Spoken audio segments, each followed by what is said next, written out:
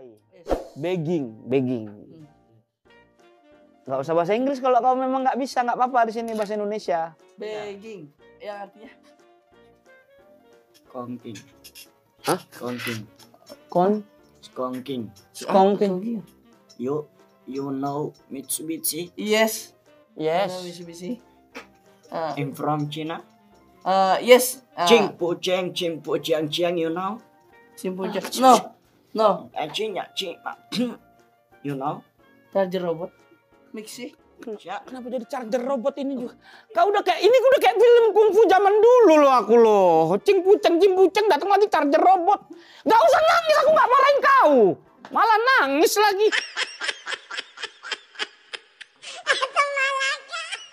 Itu seperti pulpen. Ih. Jika kita sudah memahami apa isi pulpen, Mm. Maka dia akan berdiri begini. Mm-mm. Tapi jika kita belum memahami apa arti cinta dengan Hmm. pulpen, Hmm. kita belajarnya gini. Miring. Iya, miring. Jika kita sudah memahami cinta, Hmm. akan jadi begini. Tapi susah juga ya. Pikiran lu akan menjadi hilang. Eh, pikiran puyeng lu akan menjadi hilang. Ketika lu lihat ada logo Paramik di sini. Mirip banget.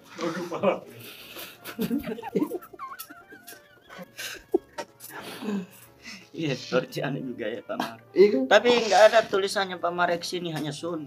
Kenapa jadi Pamarex loh? Bukan Pamarex. Ya, Paremax. Iya, Parex Max. Paresmes apa Paresmes?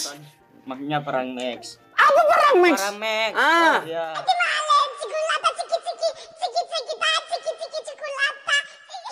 Ini cintanya sama orang mana dulu?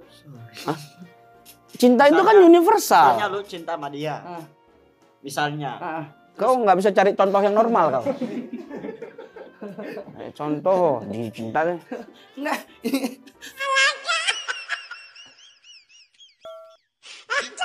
dia tidak sepakat cinta dibeli dengan uang. Iya. Menurut dia cinta tidak bisa dibeli uang. Menurut seorang Fajar Sad Boy. Nah, apa pertanyaannya? Tadi yang barusan aku sebut itu pertanyaan Fajar. Pertanyaan tadi yang barusan. Apakah cinta bisa dibeli dengan uang?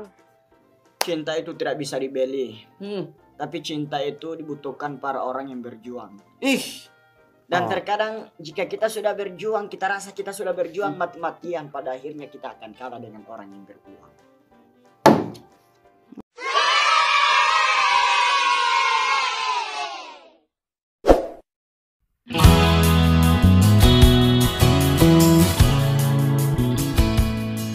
Fajar Satboy semakin lucu. Ini terlihat saat dia kolab bersama Dustin di sebuah podcast.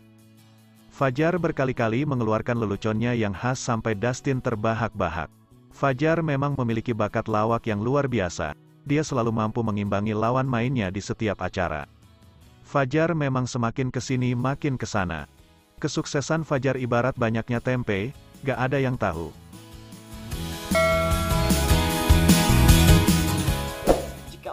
Benar-benar paham dengan sesuatu di dunia ini, pasti dia akan diam dan dia akan merasakan dalam hati.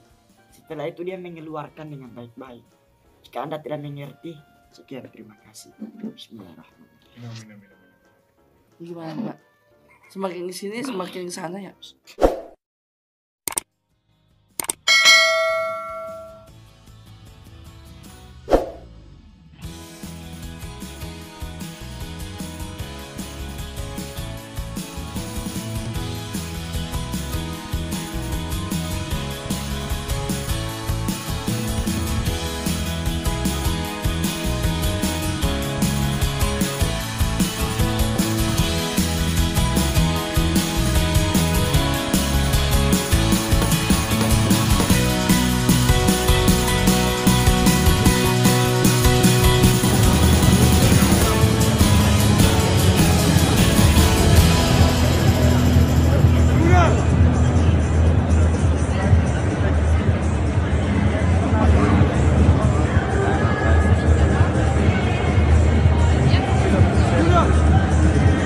Napoli.